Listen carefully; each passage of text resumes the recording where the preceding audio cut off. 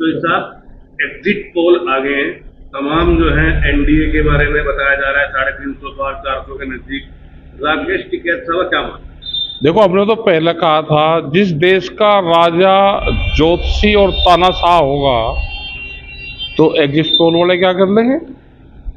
वो भी तो वही कहेंगे कि राजा की जबान, जो उसने कह दिया, उसकी कौन काटने वाला है भाई। जब पहले ये चार सौ से पार कह रहे तो इसका मतलब प्लानिंग पहले से तैयार होगी। देखो, ये समझ में नहीं आया जो पॉलिटिकल पार्टी वाले सारे, जब ईवीएम मशीनें जैसे इलेक्शन हो गया, वे कहाँ रखी जाती है? उसके बाद में चुनाव से जाने से पहले रिपेयर हो उसमें उसमें सेल डले बैटरी डले, जो कुछ कर्म कांड हो, सारा वहाँ से हो जा। कौन सी मशीन कहाँ जानी, वो सब लिखत पढ़त में सब जा कौन सी मशीन कहाँ जानी? कितने उसमें जातीय समीकरण है? क्या है? क्या कहाँ का माहौल है? भाई जब हमारा मोबाइल हमारे से बगल कोई कंपनी वाला भी नहीं खोल सकता तो ईवीएम मशीन को कोई देख सके? वो सब पहले ही सेटिंग बाजी सब हो जाती है इसमें तो चौधरी साहब आपका मानना ये है कि जो तमाम भाई सब कुछ है। हमने तो यहाँ विधानसभा में देखा। आपने भी देखा जहाँ पर बड़ोत में हम हैं, यहाँ पे देखा, यहाँ पर तो उस टाइम पे तो जो जीते हुए कैंडिडेट थे वे आ रहे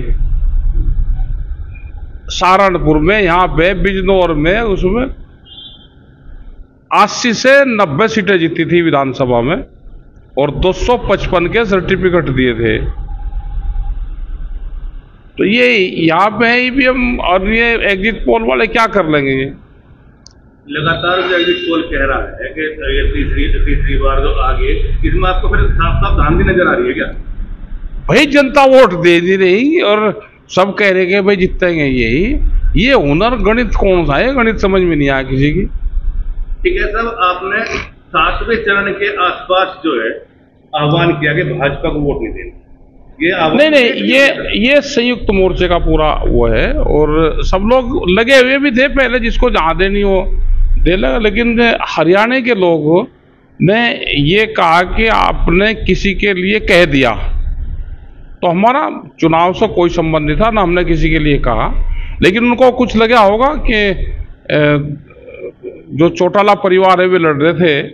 किसी ने पूछा, पत्रकार ने, जी हम या गाँव के लोगों ने, जी हम तो उसको वोट देंगे, मुकाबले उसको दे लो।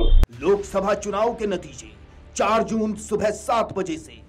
देखिए, चुनाव नतीजों से जुड़ी हर खबर सबसे पहले, सबसे सटीक, केवल अमर उजाला पर, अमर उजाला डॉट कॉम।